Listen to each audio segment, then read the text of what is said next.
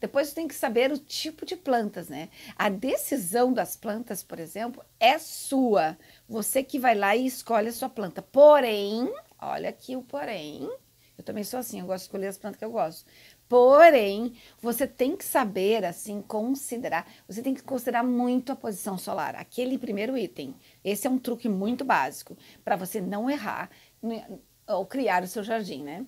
Aí você sabendo a posição solar, você vai comprar a planta certa.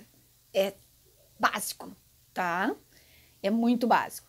E aí é o seguinte, né? Porque se ela tem sol, se tem sombra, você vai adquirir lá na floricultura da sua região. Eu disse: olha, eu quero uma planta para o sol. Forte, resistente, não pode ser árvore, por exemplo, porque meu terreno é pequeno.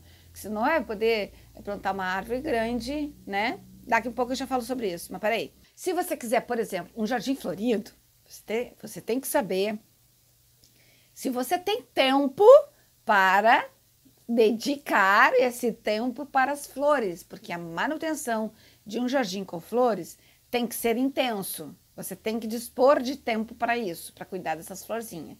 Já se você não tem tempo para cuidar da manutenção, porque é muito fácil plantar, mas o difícil é manter, né? Então, para manter um bom jardim, saiba escolher plantas perenes, duradouras, que vão te dar é, um conforto na manutenção.